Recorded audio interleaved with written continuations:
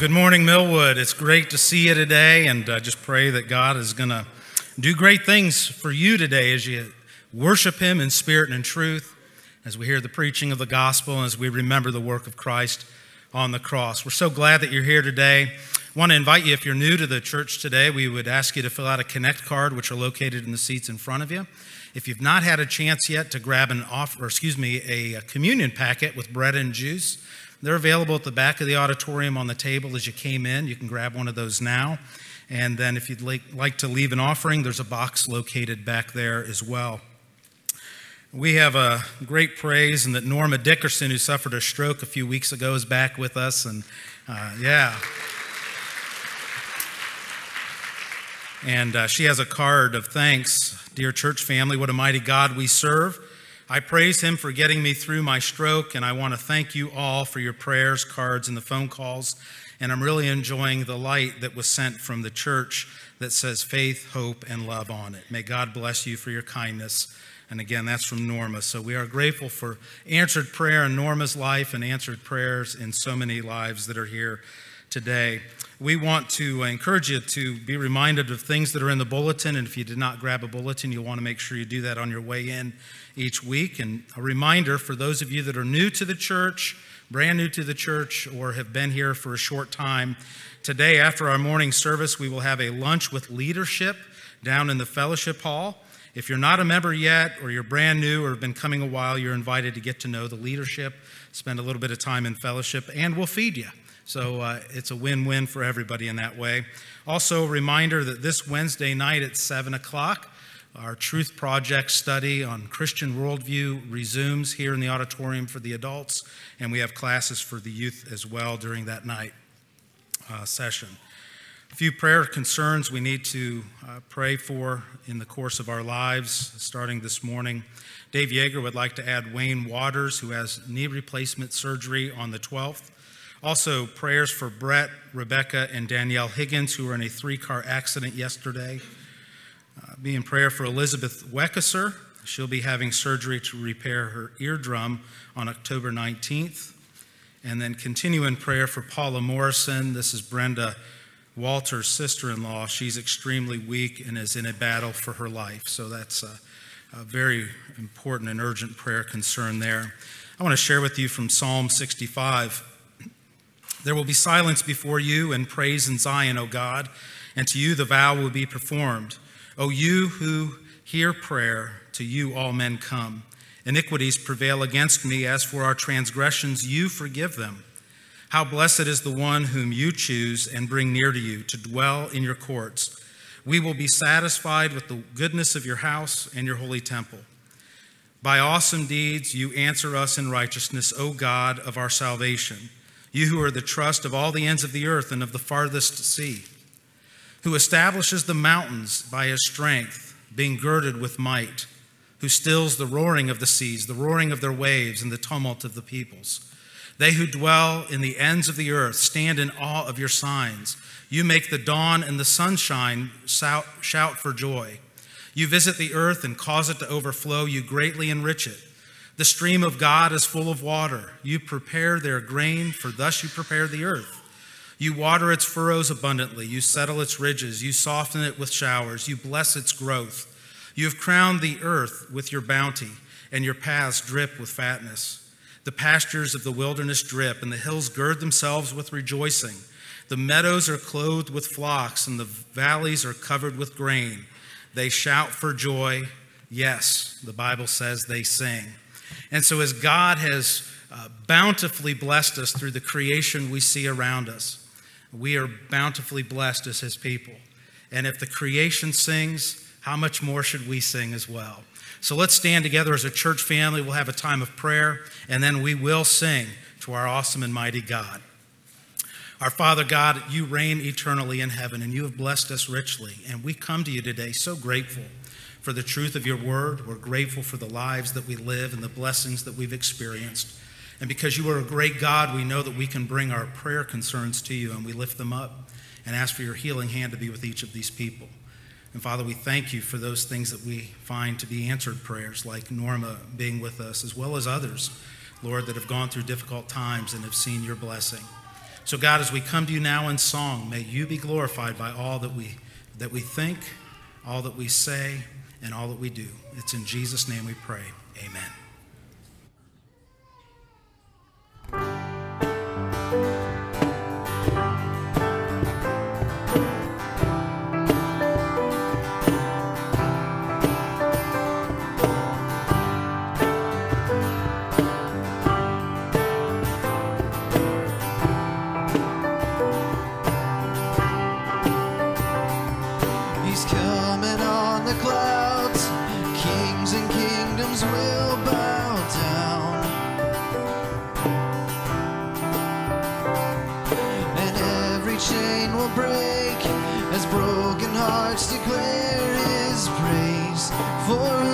Of the Lord.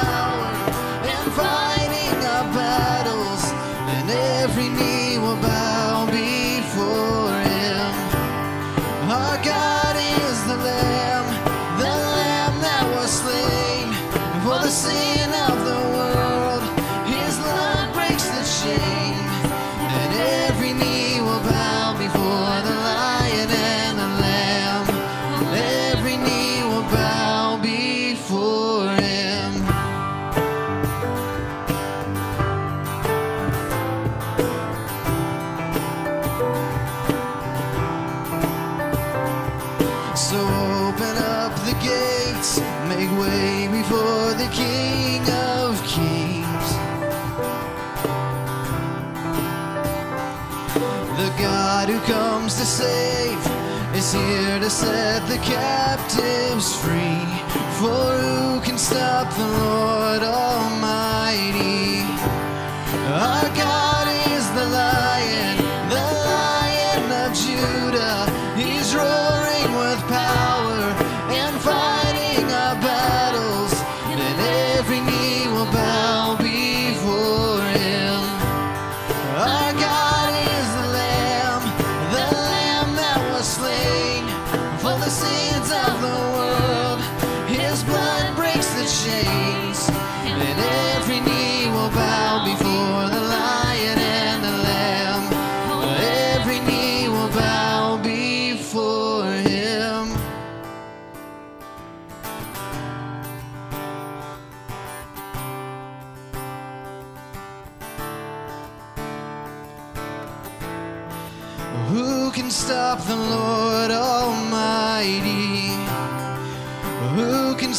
the Lord Almighty. Who can stop the Lord Almighty? Who can stop the Lord?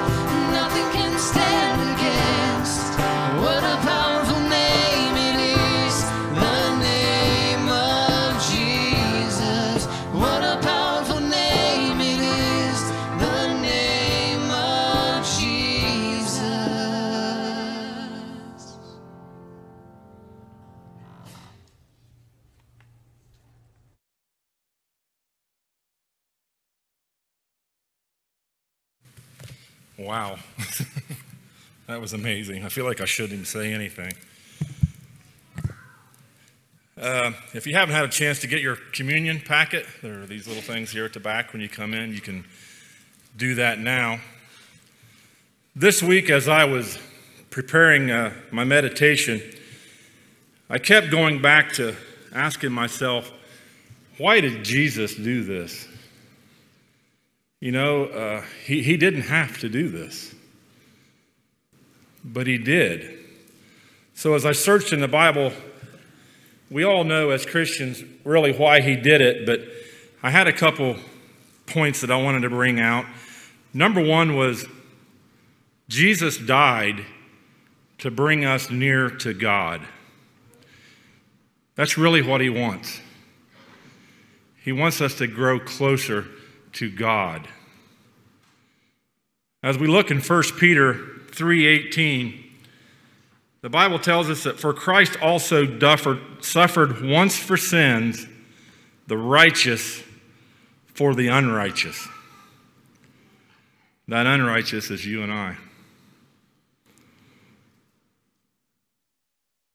Romans 6:23 we read that for the wages of sin is death, but the gift of God is eternal life in Christ Jesus our Lord. In 2 Corinthians 5:21 we read that God made him who had no sin to be sin for us so that in him we might become the righteousness of God. My second reason that Christ died was Jesus died to reveal God's character. Isn't that amazing just to think of the character of God? Romans 5 8, we read, But God demonstrates his own love for us in this, that while we were still sinners, Christ died for us. You know, think about that. I mean, he died while we were still sinners. We didn't know God, we didn't know Christ, but he died for us. In Romans 3 25 to 26, we read that God presented Christ as a sacrifice of atonement through the shedding of his blood to be received by faith. He did this to demonstrate his righteousness, because in his forbearance he had left the sins committed beforehand unpunished. He did it to demonstrate his righteousness at the present time, so as to be just and the one who justifies those who have faith in Christ. So think of these things and remember that the shed blood of Jesus Christ covers all of our sins. No matter how bad a sin they are, his blood is sufficient. Think of these things. Let's go to prayer. Father God in heaven, we just humbly, Father, come before you at this time. We realize, Father, that we are not worthy, but through your Son and that sacrifice that was made for us, that uh, you tell us, Father, if we approach here with a righteous mind and you want us to partake in a worthy manner. And a, as we do that, Father, we realize that we can take it in a worthy manner. We just thank you so much for this sacrifice. It's in your Son's name that we pray. Amen.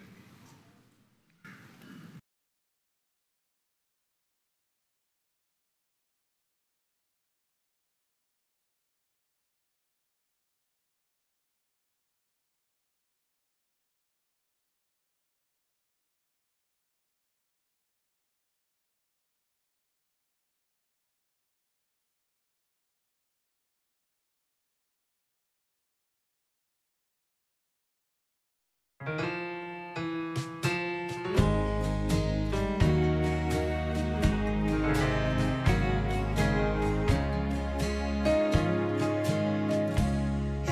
was my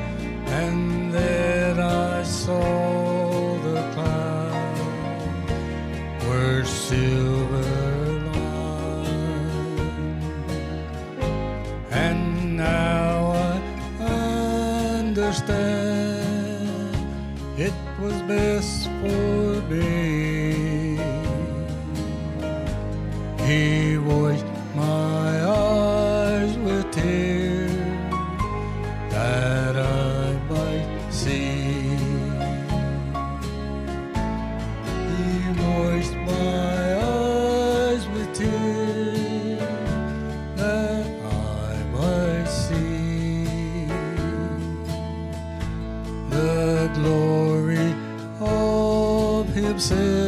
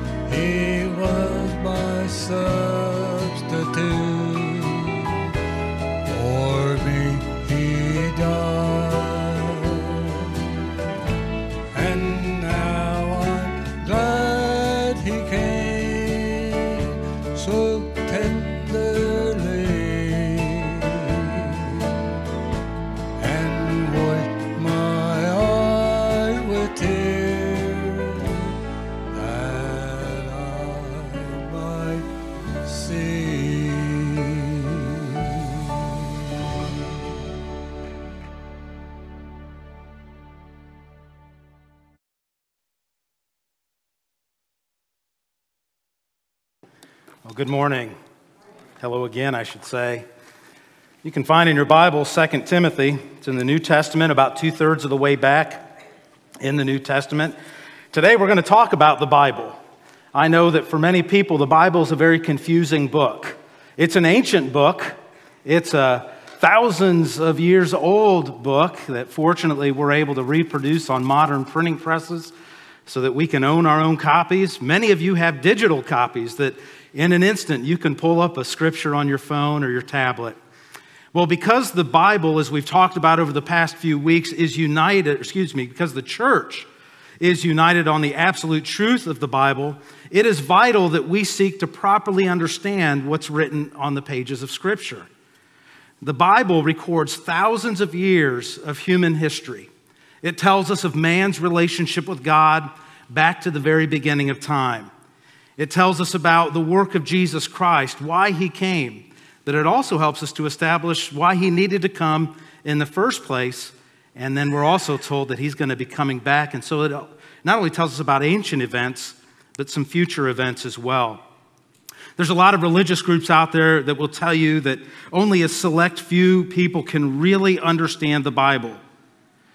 Some groups throughout history have actually forbidden individuals like you and me from owning copies of the Bible for years in the Middle Ages because, in part, the Bible was very expensive to reproduce. They would have one Bible for one area that would be chained to the pulpit in the local church building. For many years, in certain religious groups, it was only authorized to read the Bible as it was written in the Latin language, which isn't even the original language in which it was expressed. Some churches today would contend you can only read the Bible in the King James Version, which is a version that wasn't even around when the Apostle Paul wrote the scriptures, but didn't come for hundreds and hundreds of years later. The, vital is, the Bible is such a critical book in human history. The Bible is such a book that it will divide individuals. The Bible is such a book that people are willing to die for it that throughout the course of time, religious leaders who were falsely leading their troops, if you will, would actually persecute and bring to death certain individuals who sought to translate the Bible so that the common man like us could read it and understand it. Men like William Tyndale and John Wycliffe. Even in recent years, and even I would say in our own community, there are certain religious groups that discourage the reading of the Bible by particular people.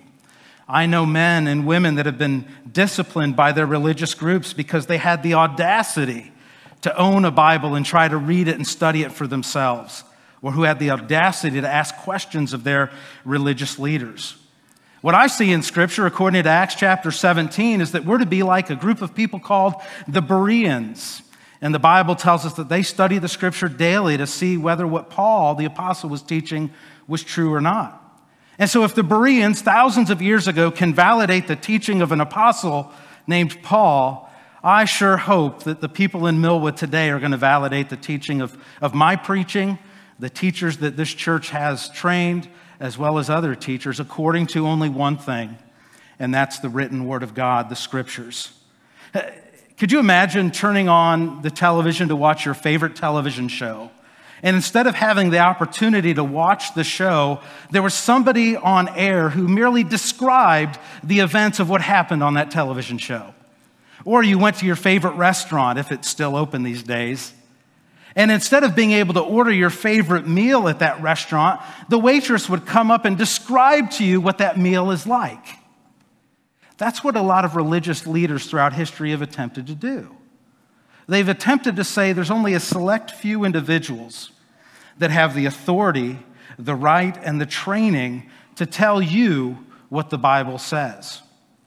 Well, let me tell you this I want you to know what the Bible says for yourselves. And that's why I'm so glad that so many of you carry into the building today your, your Bibles, that you have apps on your phones, that you can follow along and study what the Bible has to say. I know that every week I, I put a lot of scripture in these sermons, and, and maybe the best thing for you is not to try to find it on those pages or to quickly get through it onto your app, but to use the bulletins that we hand out and to write down any references that aren't already printed there. We want you to know the Bible for yourself. Amen? And my hope is that you have that same desire. There's a big difference between what the Bible says and what many people have taught throughout the centuries. And what I want you to know is what God has already written in the Bible. And because we are united in the absolute truth of the Bible and that we seek to properly understand it and we want you to know it, we give away Bibles. If you're new to the church and you fill out a Connect card, we want to give you a study Bible. Make sure you drop off that card at the desk on your way out. We've got a few stacks of Bibles throughout the building that if you forget your Bible or just need or want a Bible, you take it with you because that is the most important thing that you can ever possess. You can know, let me tell you this, you can know what the Bible says for yourself, and you can understand how to apply it. And that's why this morning I want to talk to you about something we need to restore in churches throughout the world, and that's simply Bible basics knowing what the Bible is and how to properly assess it. Now, if you found the book of 2 Timothy in your, in your Bible, that's great. While you're there, you can stick your finger in it, and I want you to go back all the way to the beginning of your Bible. Not to Genesis chapter 1. If you have a printed Bible, you go all the way back to the table of contents. And you're going to find in the table of contents the books of the Bible. Depending on the printed version that you have, you're going to discover a list of Old Testament books, a list of New Testament books, and if you're real fortunate, you might even find a list of all of those books alphabetically. And so when the preacher says, go to 2 Timothy, you can find that in the table of contents and go to it on the pages of your scripture. So to understand Bible basics, the first thing we need to grab a hold of is an understanding that the Bible is useful. Look at 2 Timothy 3:15. The Bible is useful. It says, this is the Apostle Paul writing to Timothy, and that from childhood you have known the sacred writings, which are able to give you the wisdom that leads to salvation through faith, which is in Christ Jesus. So you know, he's writing to Timothy, Bible basics, because you were taught them as you were brought up, specifically as it relates to salvation. If there's one thing that you need to know about the Bible above all other things, it's how to be saved.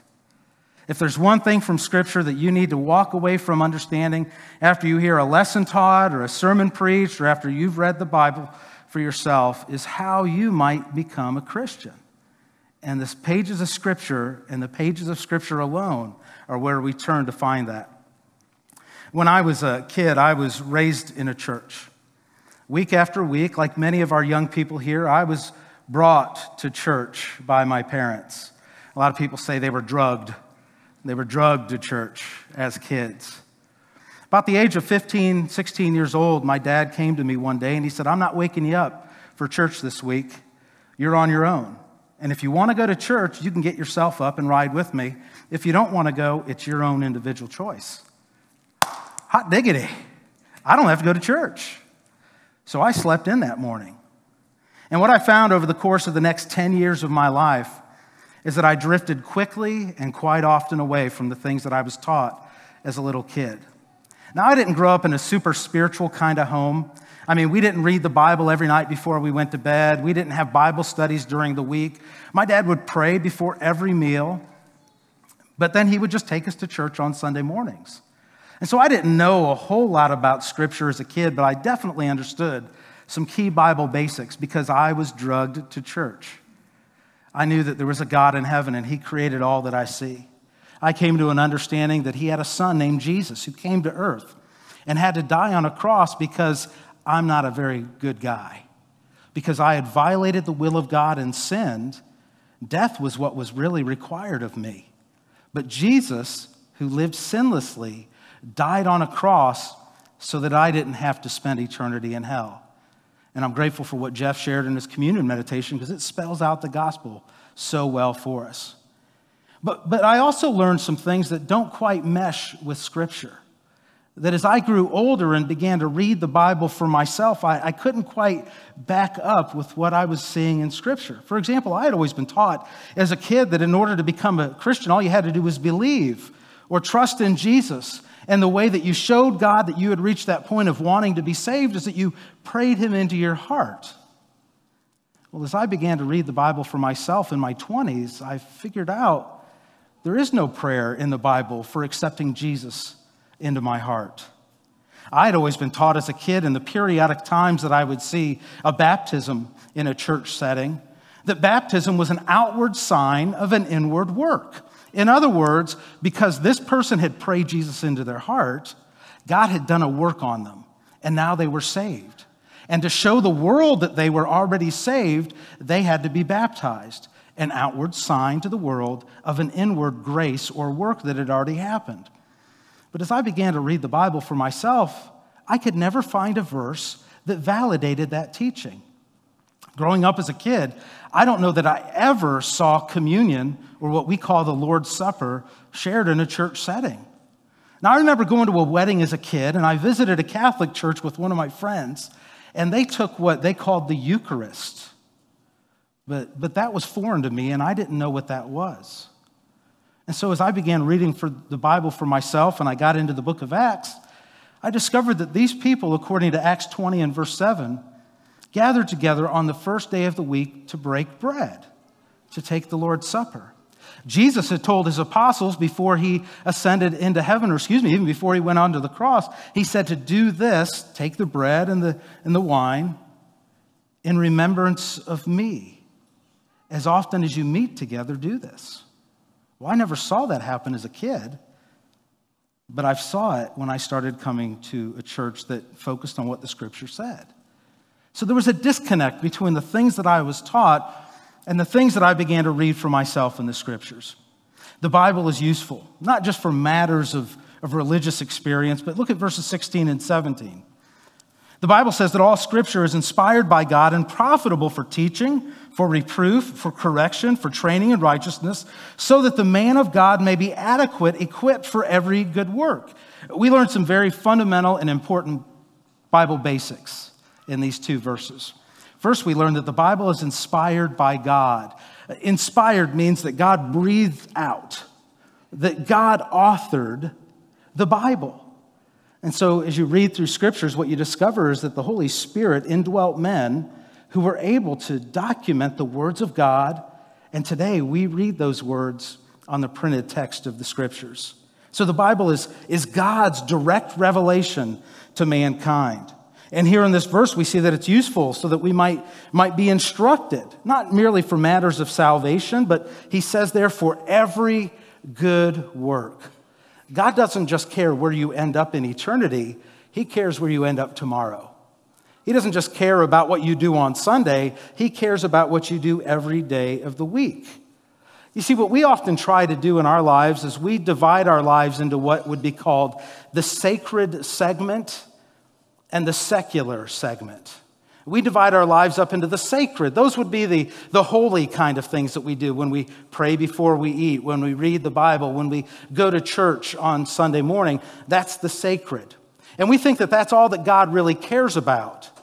But there's also a secular component of our lives. And we think that we can, we can live however we desire in the secular portion of our lives without the influence of God or that God really doesn't even care what we do as long as we show up to church on Sunday morning. Well, what we see in the Bible, though, is that God cares about everything in our lives, every day of our lives, 24 7, 365. He cares about what we're doing. Not just one hour a week, but every hour of the week. God is concerned that we're living a life that pleases Him and seeks to be conformed to His image. And so it's really hard for us to live a life that totally pleases God, that directs us six days of the week if, if we're only getting a, a fed one hour a week on one day, one hour of that day. So the Bible makes it clear to us that everything is sacred. 2 Peter 1 3 says, God's divine power has granted to us all things that pertain to life and godliness. So it's just not a matter of the sacred, but the secular as well. Everything in our life. So, what that tells us really is there is no sacred portion of our life and secular portion of our life. Everything is sacred in the eyes of God. And so, if that's the case, we need to be able to read and understand, and we need to be able to make the Word of God part of our lives. Which leads us to the second point on your outline. We can understand the Bible, the Bible can be understood. Turn back in your scriptures. Feel free to go back and use the table of contents if you need to. But 2 Peter chapter 1. 2 Peter 1, toward the end of your Bible, 2 Peter chapter 1, verses 19 through 21.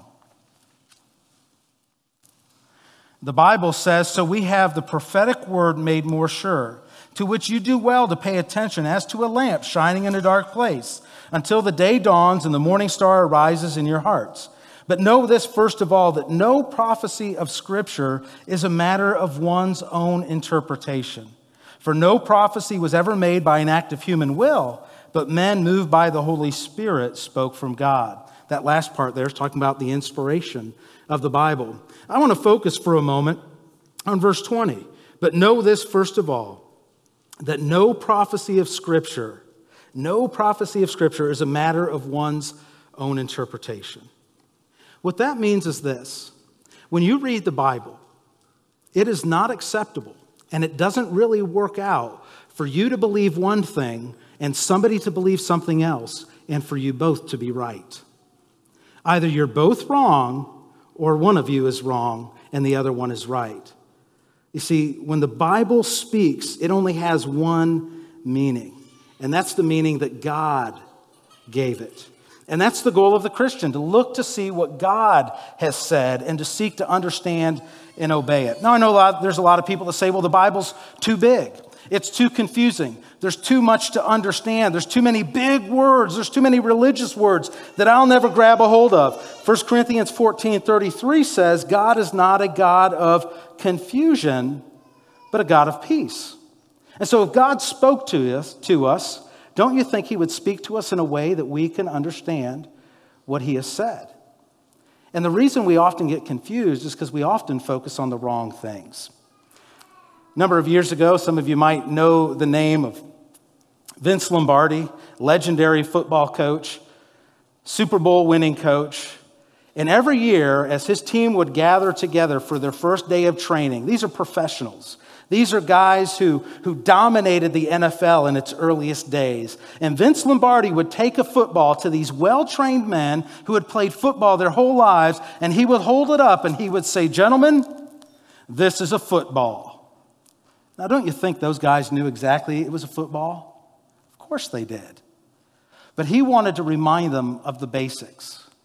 And so, ladies and gentlemen, this is a Bible. And it can be understood. Because God is not a God of confusion, but a God of peace. And so let's back up a little bit and try to understand the Bible a little bit better. And this, I hope, will be very helpful to those of you that are new to the church and certainly new to the scriptures. If you have a printed Bible and you haven't gone there yet, look at the table of contents. What you'll find there is in those table of contents, the Bible is broken up into two sections the Old Testament and the New Testament. And those two sections combined make up the scriptures or the Bible. There's 66 books in the Bible 39 books in the Old Testament, 27 books in the New Testament. The Old Testament has the Old Testament laws that God gave to his people Israel under which they needed to live. It also has a lot of human history, religious history, has a lot of prophecy about the coming of the Messiah, and it has a lot of poetry, like the poem I read, if you will, from Psalm 65 today, that David wrote about the majesty of God and the importance of worshiping him.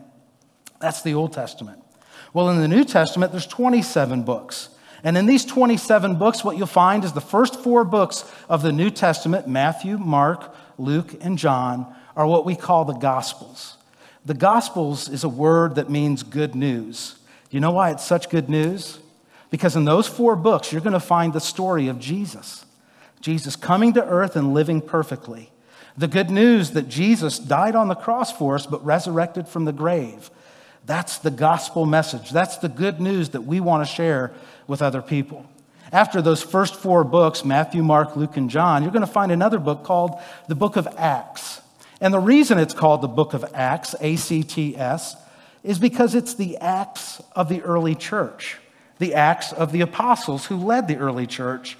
And some would say it's the acts of the Holy Spirit who worked through that first church in a miraculous way to establish the church.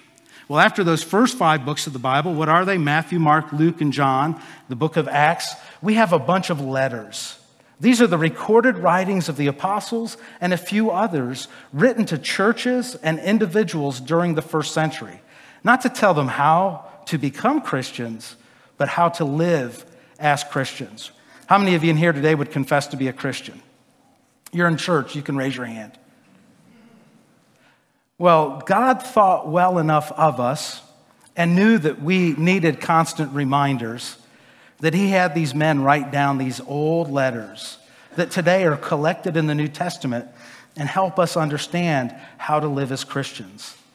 And then the last book of the New Testament, the one that everybody loves to talk about, is the book of Revelation. Can I make one fundamental and important suggestion to you? If you're going to read through the Bible, don't start in the book of Revelation. What I often suggest to people is start with the simple things. Who is Jesus? Why did Jesus come? How did Jesus live? Why did he die on a cross? That's what we find in the Gospels. And then in the book of Acts, what we find are some very good and fundamental truths about how people became Christians when they heard the gospel of Jesus Christ and how the church was established in that first century. And then the letters that follow tell us all how to live as Christians. So, all of those books combined make up the Bible. Do you know what the word Bible means? The book. Isn't it amazing that this book doesn't need any greater title than the book? And so we call it the Bible, and that's fundamentally what it is. And so 2 Peter chapter 3 starting in verse 14, says this 2 Peter 3, starting in verse 14. Therefore, beloved, since you look for these things, be diligent to be found by him in peace, spotless and blameless, and regard the patience of our Lord as salvation, just as also our beloved brother Paul, according to the wisdom gave, given to him, wrote to you as also in all of his letters, speaking in them of these things, in which are some things which are, which are hard to understand, it says, which the untaught and the unstable distort, as they do also the rest of the scriptures to their own destruction. Verse 17 then says this You, therefore, beloved, knowing this beforehand, be on your guard so that you are not carried away by the error of unprincipled men and fall from your own steadfastness. So, what he says there is God has spoken through men like the Apostle Paul, like the writer of this letter, Peter, so that we would understand God's will for mankind. He says, though, there are going to be those who take the words of Scripture and twist it. Twist it. So that they can make other people believe what they want them to believe. So that they can create a group of people that are going to follow them instead of following after Jesus Christ. He goes on and says, But you, therefore, you've got to be on guard. You've got to be ready. And how do you do that? You've got to know what the Bible says. I remember years ago sitting down across from a husband and wife and doing a Bible study with them and asking him the question how much reading he did. He said, Well, I don't do any reading. I said, You even read the Bible? I haven't read a book since high school. I said, Well, how do you know if the things I'm telling you are true or not? He said, Because I like you. Sounds great. And I'm glad he liked me, I guess. But what's he going to do one day when he stands before God? And let's say that the guy he likes got something a little twisted. Maybe not intentionally, but, but accidentally. What if the guy he listened to taught him that all he had to do was pray Jesus into his heart and that baptism wasn't essential, it was merely an outward sign of an inward work? And God said, Well, I appreciate you know that, but that's not in the scriptures. Where did you learn that? from a preacher I liked. I don't want to stand before God and, and, and leave anything to guess.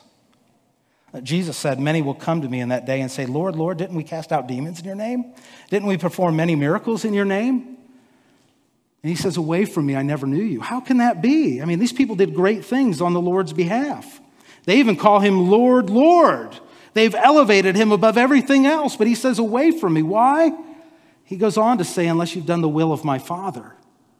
And so, how do you know what the will of the Father in heaven is unless you read the word of the Father in the scriptures? The Bible is not necessarily simple, it, it isn't. But fundamentally, the Bible is very simple. And that's what I want to urge you to focus on as you read the Bible the first time. Go through the Bible as you read it, the New Testament, those Gospels, the book of Acts.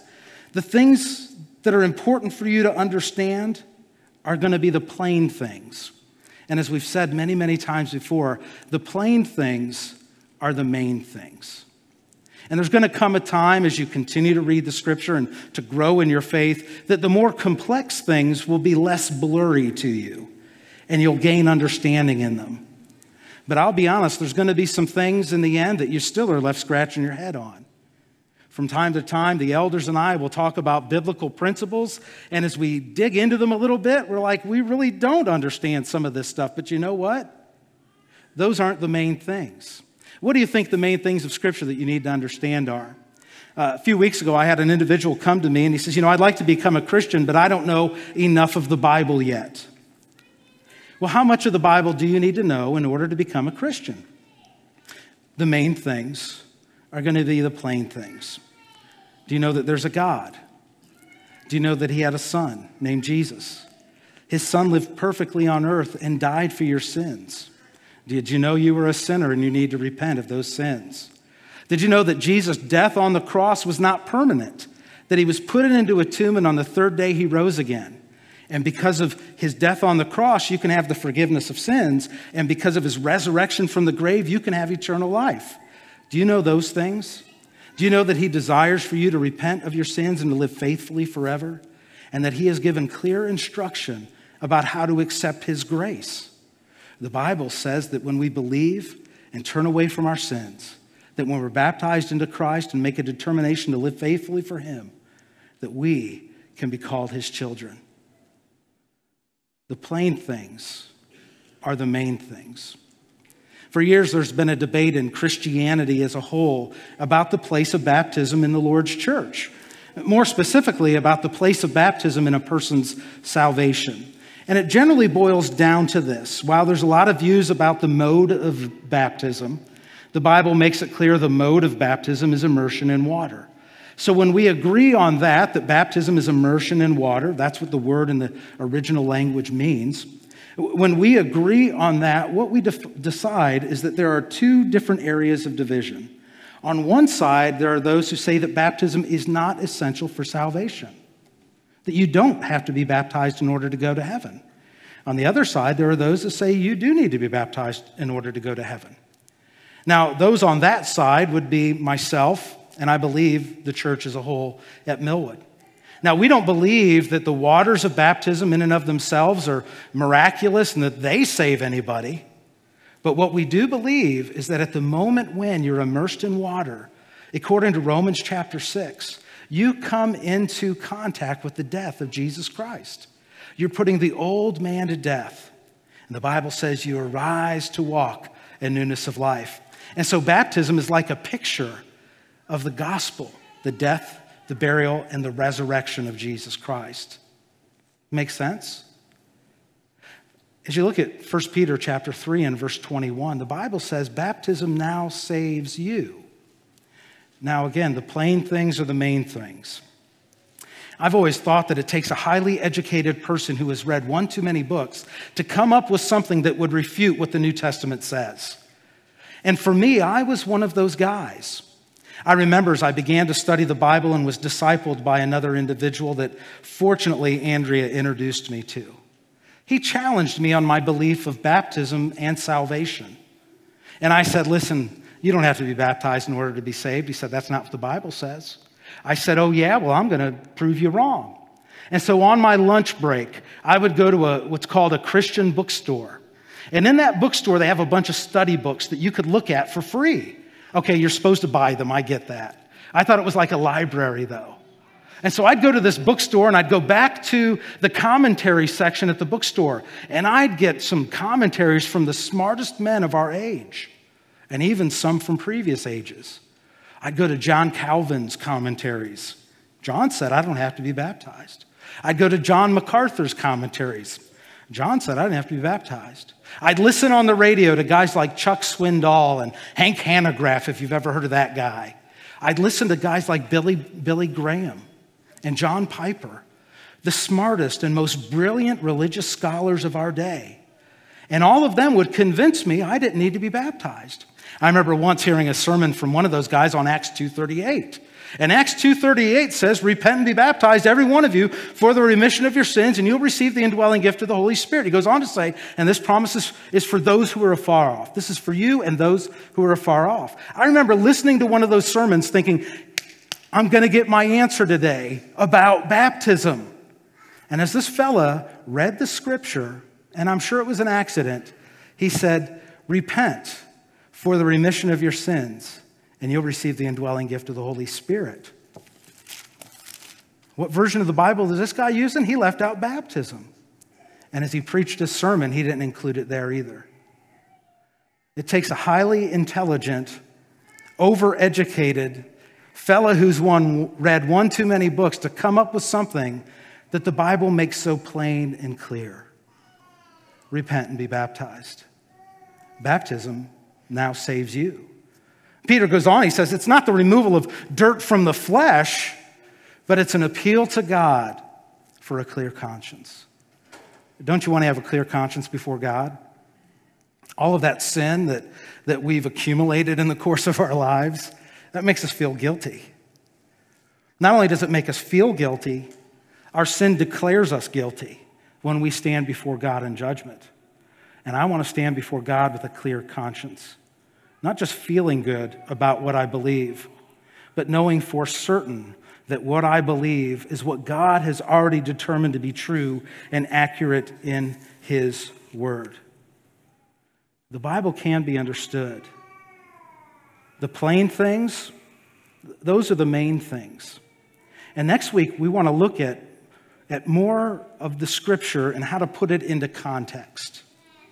A lot of times when people start reading the Bible, they go back to Genesis. Genesis is full of some incredible stories. In fact, it starts with the story of creation. How much more incredible than that can you get? And Genesis goes on to tell us about the histories of, of early people. But then we get into Deuteronomy and, and different passages of scripture that put us to sleep and eventually put our Bibles away. Well, how do we take all of that and put it into context? How do we take what God has said so that we can understand it and live it out in our lives?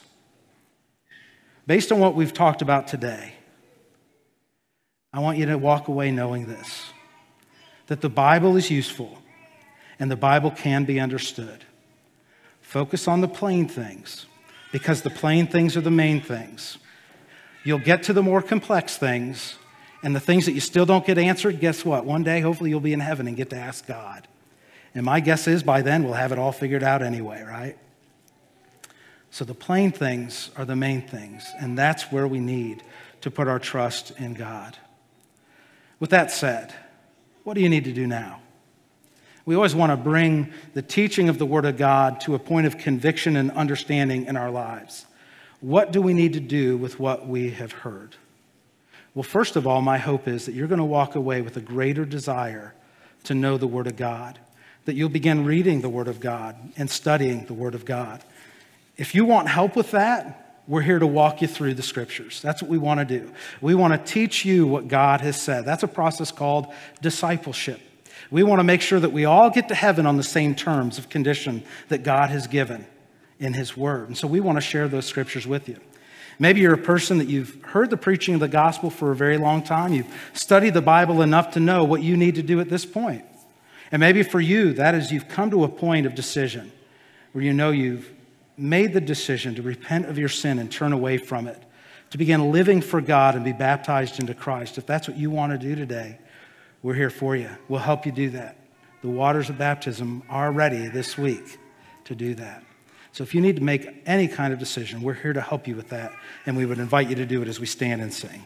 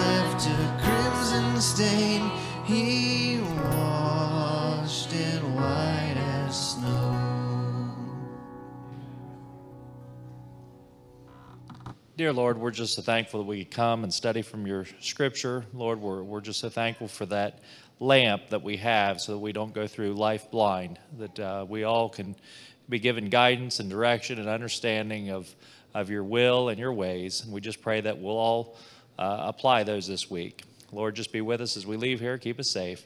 In Jesus' name, amen.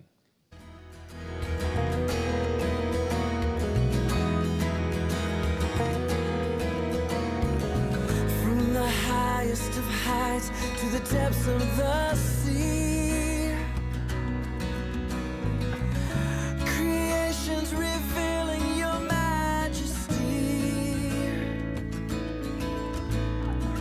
From the colors of fall to the fragrance of spring.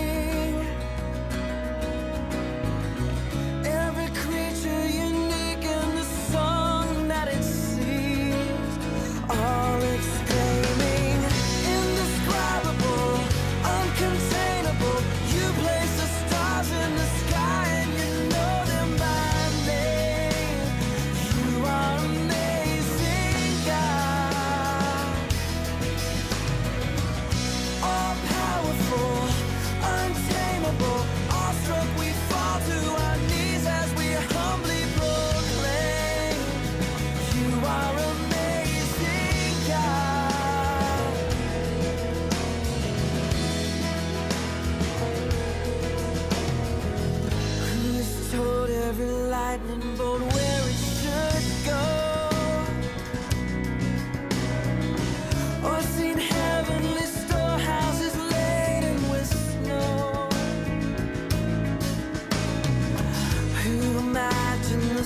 running